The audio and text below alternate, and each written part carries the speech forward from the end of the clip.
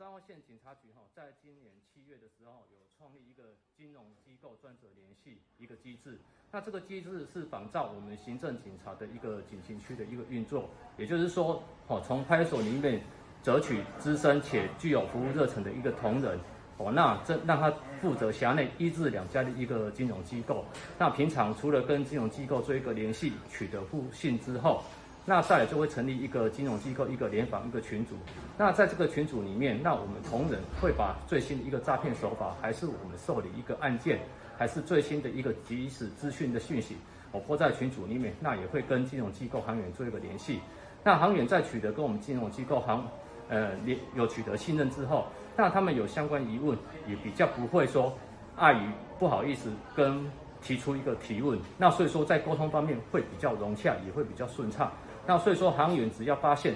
一可疑，那马上也会在群组上做反应。那我们也会及时在群组上做一个回应。那所以说，我们北斗分，我们彰化县警察局在今年七月成立这个禁情区制度以后，那我们以往的一个蓝，我们北斗分局的一个拦阻成效，那从以往的上半年的大概三成左右，那提升大幅提升到七成。